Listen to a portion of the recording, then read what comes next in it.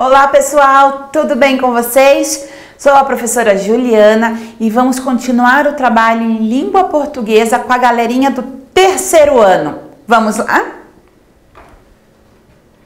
Primeiro nós vamos fazer a correção do que foi proposto na aula anterior para vocês. Passe o substantivo. Primeiro vocês tinham que criar uma frase para cada um dos substantivos. Então, uma frase para animal, uma frase para jovem e uma frase para personagem. Eu vou aqui pensar, dar um exemplo da minha ideia, tá? Cuidado. Opa, minha letra D aqui, deixa eu arrumar aqui. Cuidado. Deixa eu apagar para ficar bonitinho. Cuidado. O animal fugiu da jaula. Posso fazer assim, ou eu posso colocar também assim, ó. Cuidado, ponto de interrogação aqui. O animal fugiu da jaula. Usei aqui a palavra o animal. Jovem, eu posso falar a jovem ou o jovem.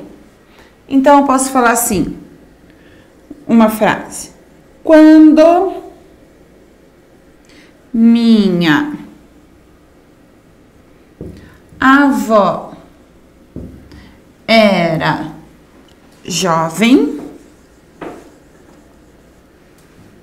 ela não tinha televisão. Pronto. Se eu tô falando da minha avó, então é a jovem. E por último, personagem. Vamos lá. Meu personagem. Então, meu personagem favorito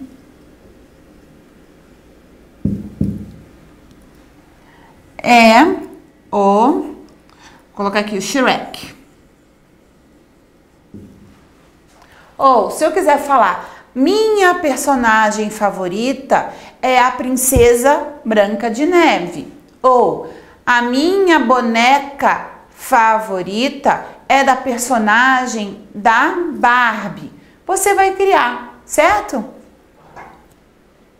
E depois você tinha que passar o substantivo abaixo para o feminino e então formar uma frase para cada um. Então vamos lá. Lembra que eu já até dei a dica para vocês que barão vira baronesa. Ó, que vocês poderiam revisar lá no livro de vocês o uso do substantivo feminino na página Cadê? 49 certo? Então, barão vai virar baronesa. Então, eu posso falar assim: Eu nunca vi uma baronesa. Ou, vamos só escrever qualquer palavra, né, pra gente saber. Baronesa. E aí eu posso dizer, eu nunca vi uma baronesa, ou na minha cidade morava uma baronesa, e assim por diante. A palavra anão, quando eu, faço pro fe... quando eu passo para o feminino, ela fica anã. Ontem, vou escrever uma frase. Na minha escola, eu vi uma moça que era anã. Lembra? O anão ou anã são aquelas pessoas que tiveram um certo probleminha e eles não cresceram, ficaram uma estatura baixa, certo? Então vamos continuar. Próxima atividade. Para a gente lembrar sobre essa atividade, qual a função do cartaz? Qual a função do aviso? Nós vamos ler juntos no livro de vocês, lá na página 57, primeiro sobre o cartaz. Aqui embaixo, cartazes e avisos. Vamos ler o que, que o livro define, como que ele diz para gente o que são os cartazes, qual é a função deles. Então, olha lá.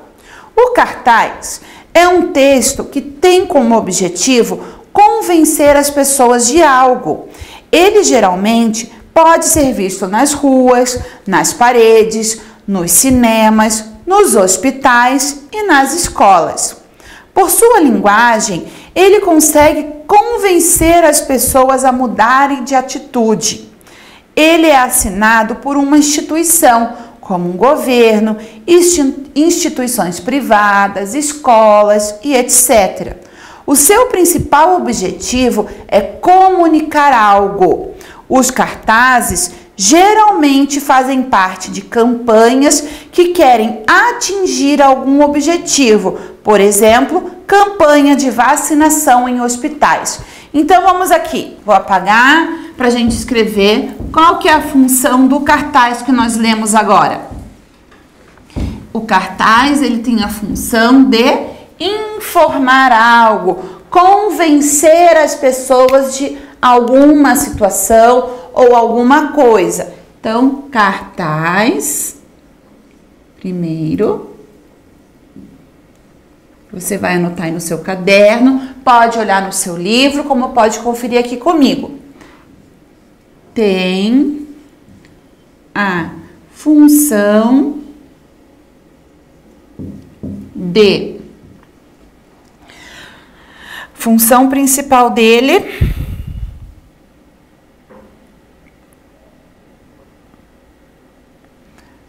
comunicar algo. Eu queria achar a palavra igual do livro. Comunicar algo. Convencendo. Convencendo as pessoas. De alguma situação, por exemplo certo? Então, a função do cartaz. E aí agora vamos ver do aviso. A função do aviso qual que é? Vira lá na folha, cent... Opa, folha 60. Vamos ler lá em cima no começo também sobre o aviso. Assim como cartaz, o aviso também possui uma mistura de linguagem verbal, escrita e não verbal, que são as imagens. Circula em ambientes públicos, assim como cartaz. Porém, diferentemente do cartaz, o aviso não busca convencer as pessoas de algo. Ele apenas informa um evento, uma campanha, um movimento e etc. Pode ter orientação local, data e horário. Então o cartaz ele apenas o aviso, desculpe, retoma. O aviso ele apenas está informando as pessoas, ele não convence. Aqui é quando a gente falou que o cartaz tem que convencer as pessoas de alguma situação, por exemplo, o aviso ele apenas informa. Então, o aviso, ele tem a função de informar. Função, desculpa, tô na frente, de informar algo. Então, a função dele é apenas informar. Então, lá, vai ter um aviso. É, Horário de abertura da loja, das 9 às 10 ou 9 da manhã às 10 da noite. Tá lá o aviso. Não está convencendo a pessoa que ela tem que estar lá nesse horário. Está informando, certo? Monte um cartaz informando a volta às aulas. Então agora vocês vão elaborar aí. Peguem um papel branco e vão elaborar um cartaz dizendo sobre a volta às aulas. O que, que a gente pode ter num cartaz que informa, que está chamando as pessoas para essa situação, está informando sobre algo? Primeiro de tudo, a gente deve usar letras grandes, maiores. Veja lá o exemplo de vocês que tem no livro, na página 59. Olha lá, uma campanha da água. A palavra grandona chamando a atenção lá em cima é água. Então já sei que aqui está falando alguma coisa sobre a água né? Tem uma imagem representando uma gota de água. Então, sobre a volta às aulas, o que, que vocês podem colocar bem grandão lá em cima? Usar tipos de letras diferentes, pode ser colorido. Então, vamos pensar aqui, ó. Vamos escrever aqui, ó. Fazer só uma letrinha aqui, ó. Ó, volta. Opa. Vamos ver se eu vou. Volta. As. Vamos ver o S aqui, como é que eu faço aqui? Volta as. Opa, aulas.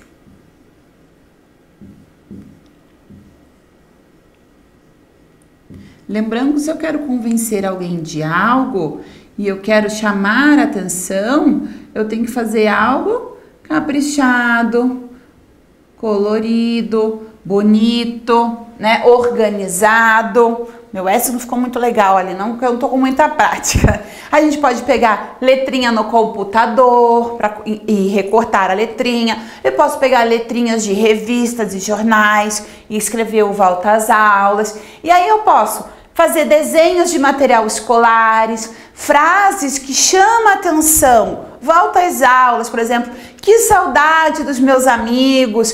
Como é bom rever vocês. Esteja na escola tal dia, a partir de tal horário. Esperamos vocês, esperamos vocês com muito carinho. É uma sugestão de um cartaz. Então você pode colocar lá, por exemplo, tem que ter, né, o dia, porque tem que ter informação que dia que vai voltar às aulas. O horário da aula, qual que vai ser? Certo?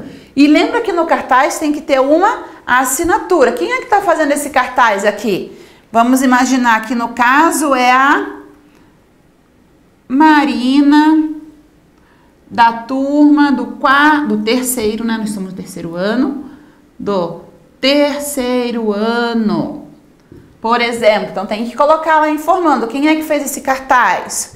Então lá, volta às aulas, o dia que volta, o horário, uma frase impactante, é isso que eu queria lembrar. Uma frase impactante, que é uma frase que chama a atenção para aquele cartaz. Além de ter uma volta às aulas, o que, que tem de especial ali que vai chamar a atenção das pessoas para irem para esse momento? E agora, também, ao contrário do cartaz, agora a gente pensar num aviso. O aviso está o quê? Informando apenas. Então, eu posso fazer uma coisa grande assim, chamando atenção? Devo, devo. Então, eu vou apenas ali colocar volta às aulas. Que dia que volta a aula? Eu vou colocar volta às aulas. Aí eu posso escrever lá no meu cartaz, escrevi errado aqui. As aulas. Aí você vai também usar a sua criatividade para chamar atenção para este aviso. As aulas retornarão.